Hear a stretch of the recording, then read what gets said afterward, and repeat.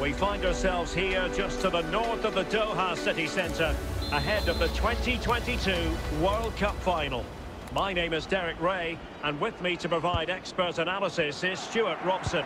And as you can imagine on this occasion, the atmosphere is building up nicely. It's Argentina versus France. Well, what an occasion for these two sets of players. A chance to be world champions. Let's hope the game matches the atmosphere. It should be an absolute cracker. Opportunity to take the lead, and it's in! We've just witnessed the first goal of this 2022 World Cup final. One to savour. Well, here we can see it again. Look at the way he glides past the defender to create space for himself. And then it's a wonderful strike from Messi. He hits it with such power, such pace and great accuracy. What a goal that is. So France get the ball rolling once more. We're about to find out how they're going to react to the setback. And the attack looks promising. But they took care of the situation defensively. Coman. It's with Kingsley Coman. And it's there for Karim Benzema. Oh, the referee has given it. Penalty it is.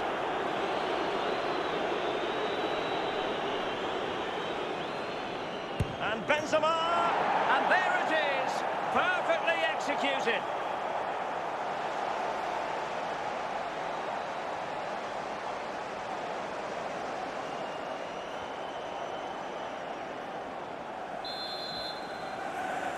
Goal. So underway again following the goal that made things level. Good tackle taken away.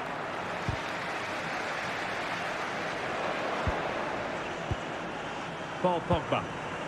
Theo Hernandez. Griezmann.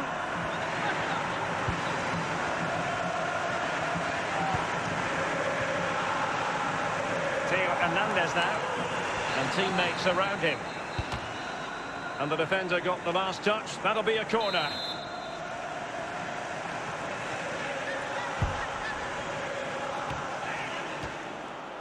Can he put them in front? Wonderful challenge, but the chance is still on. Coman.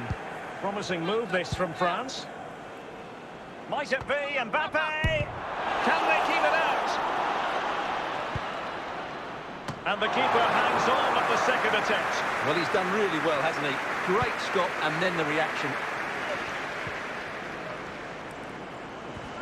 fourth Well, stoppage time situation. there will be a minimum One minute here. minute of added time. And with that, the first half draws to a close. And so the second half gets underway. Almost a case of the two teams saying to each other, whatever you can do, I can do just as well. Couldn't find a teammate. Throw in here.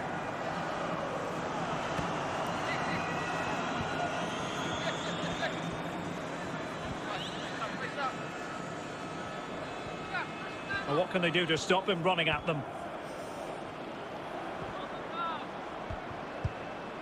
Aware of the threat, solving the problem.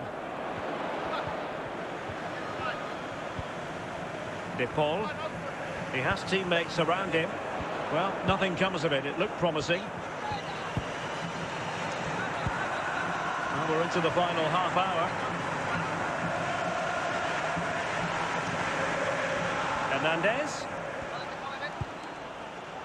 Benzema! Routine, really.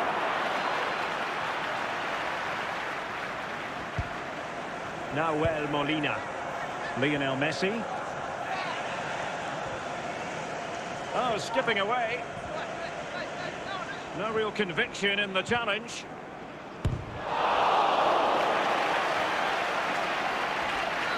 Good work to win it back high up the pitch. Can they take the lead here? Making sure nothing came of it. Molina. De Paul. Martinez. Can they convert? Oh, a goal! And how important could that be? Maybe it's a story of one hand on the trophy at this stage of the final. A huge moment. Well, here you can see what a good goal this is. He hits it so cleanly, and the keeper has no chance. That's a great strike. And the substitution will occur now. What a big moment in the dying embers. Will it prove decisive here? There might very well be late excitement. Five minutes left, and the margin just one. Kimpembe. Well, into an attacking position. It's not too late for them. Well, it came to nothing in the end. Pogba. And there goes the final whistle. For the third time in history, Argentina have won the World Cup. And I have to say...